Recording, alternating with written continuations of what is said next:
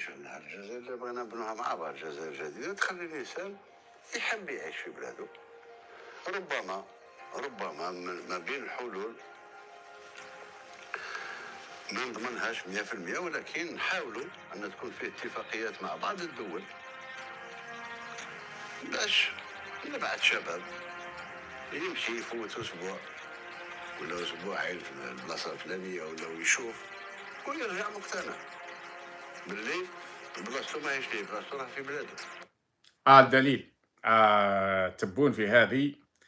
وقيل راح نبدلوا له هذه تاع كذبونه دليل ها هو دليل قال لك إنه آه يبدو ان تبون بعث اثنين مصارعين للمنتخب الجزائري للمصارعة آه بعد مشاركته في بطولة الألعاب الشاطئية باليونان ويتعلق الأمر بالثنائي إسلام قوادمة والهادي يحيى قاسم المصارعين ما نقولش الكلمة اللي جات بعدها آه وقال لك راحوا للمطار فرانكفورت. يبدو أنهم سمعوا بالفعل إلى تبون وقالوا إحنا ما نخسروش ال- البلاد ما نخسروهاش بي جديد وما دامنا في اليونان خلينا نروحوا نشوفوا الفقر في ألمانيا. فهذا إسلام و إسلام قوادمة والهادي يحيى قاسم. راهم سمعوا لتبون وراحوا يشوفوا الفقر في فرانكفورت في ألمانيا. واحد راه يكتب لي هربوا آه راك تكذب على تبون انت يعني. أنت راك تكذب على تبون. ما هربوش. راحوا يشوفوا الفقر هناك. راح يشوفوا الفقر هناك وهو قال لك قال لك سمانه سمانتين وممكن يروحوا سمانه سمانتين ويرجعوا. ها هم أخواننا اللي راحوا يشوفوا الفقر في آه، في ألمانيا.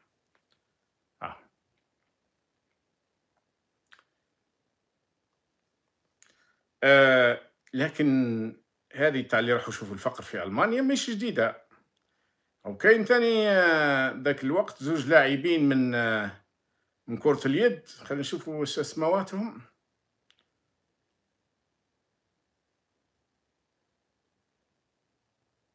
مش حاطين الأسم هنا. أنا ذاك أيضا كانوا زوج و... ويبدو أن ألمانيا هذه فيها فقر كبير. كانوا زوج لاعبين ها ما عندك؟ ذكرونا بأساميهم آه، أخوة المتابعين. نسيت الأسامي كنت تكلمت عليهم في هذاك الوقت. هادو كانوا راح يشوفوا الفقر في جوان. سمعوا التبون في خطابه قال باللي راهي جهنم أوروبا راهي جهنم وراه الفقر آه، مالئ الدنيا في أوروبا.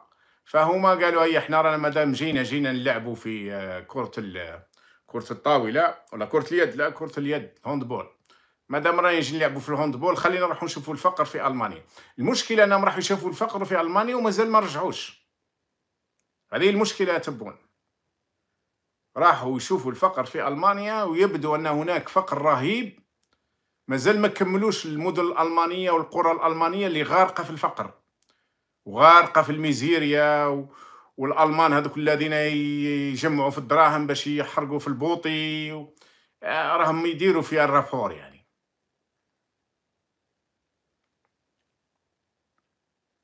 مسخرة.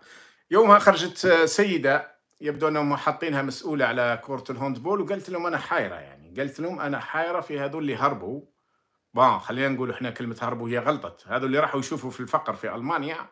قلت لهم علاه راحوا يشوفوا الفقر في ألمانيا. الجزائر هي أجمل. وأفضل. طبعا. الجزائر تاع Club des Pins أكيد أنها أجمل من كثير من وأغنى من كثير من ال- القرى والمدن في في أوروبا. تاع Club des Pins. تاع شيراتون تاع موريتي. تاع سيدي فرج. مش تاع السكان اللي في المنطقة. تاع سكان المحميات. هذيك الجزائر تاع خير. هذوك عندهم jet ski وعندهم الحراسة وعندهم سيارات آخر طراز وعندهم ما يدفعوا لا انترنت ولا كهرباء ولا électricité ولا ماء ولا إيجار والحراسة بالدرك وهذيك هذيك الجزائر bien sûr.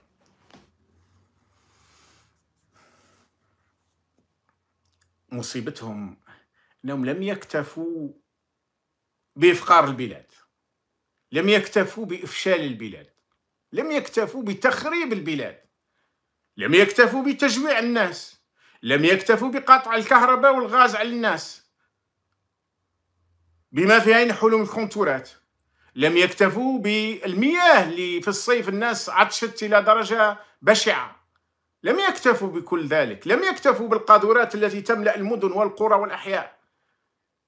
يخرج تبونهم يقول لك راهي أوروبا جهنم. وتخرج أبواقهم. آخرها كانت جارية الخبر أو أمس. تقول لك باللي أوروبا والأسعار والتضخم و وكأن الأوروبيين هم اللي راهم يهربوا للجزائر. وكأن الألمان والفرنسيس والإسبانيول والطليان والإنجليز هم اللي راهم يهربوا للجزائر. مما يزيد من الغضب والاستفزاز. نفس الطريقة نتاع السيسي بالمناسبة يعني. نفس الطريقة. فتتراكم بعد الناس خلاص توصل مرحلة معينة يقول لك خلاص ما راناش مع عباد هذه هذه مش عباد هذا في الحقيقة الشابين اللي ذكرتهم في البداية هربوا إذا فرار مسارعين للمنتخب الجزائري باش حتى لأن مرات ربما كاين بعض الناس يحسبوا انني نستهزأ بهم بطبيعة الحال وأنتم راكم فاهمين هذا. لكن ربما واحد تغيب له يقول لك كيفاه. هذا فرار المصارعين للمنتخب الجزائري للمصارعة بعد مشاركتهما في بطولة الألعاب الشاطئية باليونان ويتعلق الأمر بإسلام قوادمه والهادي يحيى قاسم. واضح أنهم في العشرينات من أعمارهم. المصارعان هربا من مطار فرانكفورت يوم الخميس أثناء رحلة العودة إلى الجزائر. هذه فضيحة مدوية. هذه فضيحة مدوية. طبعا قد لا تظهر في كثير من الإعلام خاصة مع الأحداث المؤلمة جدا عند أشقائنا في المغرب والأحداث الأكثر إلاما عند إخواننا في في آه، في درنا أكثر من 15 ألف قتيل آه، شهداء بإذن الله ودمار مدينة كاملة إلى آخره. في اهتمام أخبار عالمية أخرى. قد لا تظهر كثير لكن الأجهزة الاستخباراتية السفارات اللي في الجزائر القنصليات الأجهزة الاستخباراتية اللي تتبع الوضع الجزائري كلها راح تراقب في هذا. هؤلاء ماهوش ما عندهمش خدمة. هؤلاء مش ما عندهمش آه، لبسة وين يأكلوا وين يشربوا. لبس عليهم. دليل أنهم في في فرق رياضية وطنية يعني. معناها بالمقارنة مع 99% من الشباب الجزائري هذون في حالة مادية أفضل. لكن مع ذلك هربوا من البلاد. وهذون في العشرينات من أعمارهم مثل الشابين اللي قبل أيضا. ومثلهم قبلهم أكثر من مرة راهي كثير يعني. لماذا يهربوا؟ يخلوا اولادنا يخلوا آبائهم ويخلوا إخوانهم وكاين ربما اللي يخلي زوجته وأبنائه اذا كان متزوج. لماذا؟ لأن الجحيم راهو في الجزائر مش في أوروبا. اوروبا فيها أشياء تقدر تعترض عليها تقدر ما توافقش عليها تقدر لكن قضية المعيشة ما تقدرش تقارنها بالأوضاع اللي عندنا. تقدرش.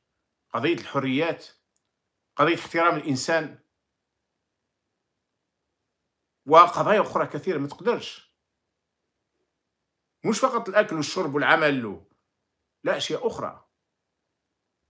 أكيد كاين فقر في أوروبا لكن هو نسبة تاع محدودة جدا. أكيد كاين بطالة محدودة جدا 5 6% 7% 8% إحنا روح امشي في القهاوي باش تعرف حقيقة البطالة. امشي في الشوارع وشوف الشباب والرجال وخلينا من النساء اللي مساكن آه، وضعهم أسوأ. لكن روح شوف روح شوف أي ساحة شوف أي قهاوي شوف وشوف الآلاف المؤلفة نتاع الناس ممتدة على القهاوي على الساحات على اللي يحوس على خدمة اللي, اللي وكاين اللي راه ممكن اليوم كتب لي واحد قال لك من 96 وحوس على خدمة. نعم ما تستغربوهاش. بمعنى خدمة قارة يعني خدمة تليق بالإنسان. يقدر الإنسان يخدم مانوفر ولا يخدم آه خدمة مؤقتة يقدر. لكن خدمة ذات قيمة ذات ما. فهذا يزيد من غضب الناس ويزيد من آه الاستفزاز. وراهم في الحقيقة راهم راهم يكبروا في راهم يكبروا في الحسبة فقط.